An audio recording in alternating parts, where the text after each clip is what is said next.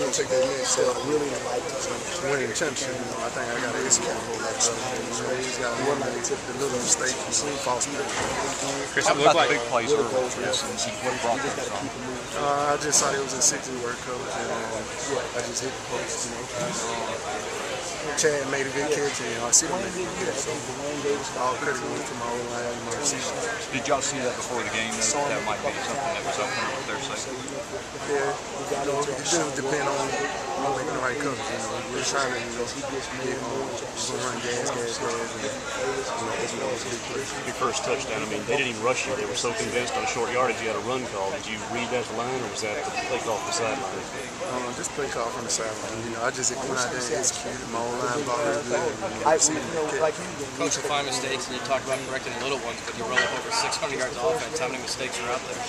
Um, you know, just the false, false starts. You know, just execute on third down. Fish do a whole lot better job of executing on third down.